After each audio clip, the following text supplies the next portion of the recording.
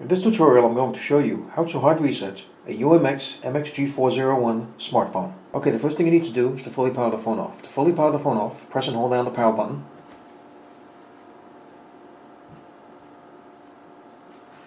Power off. Okay.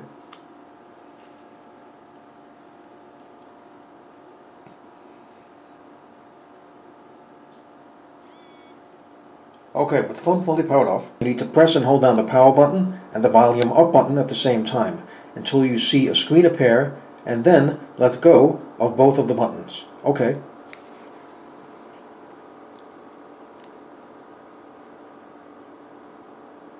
Okay, now let go.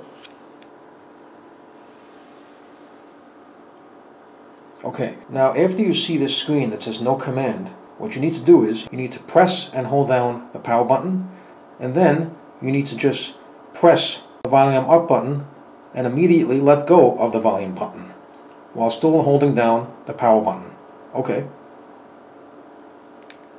Okay, there you go.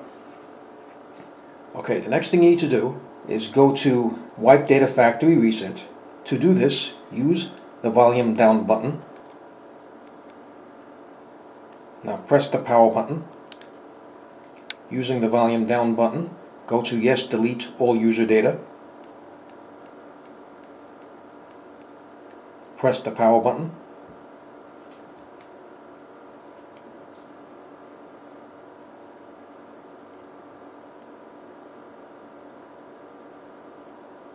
Okay, now press the power button.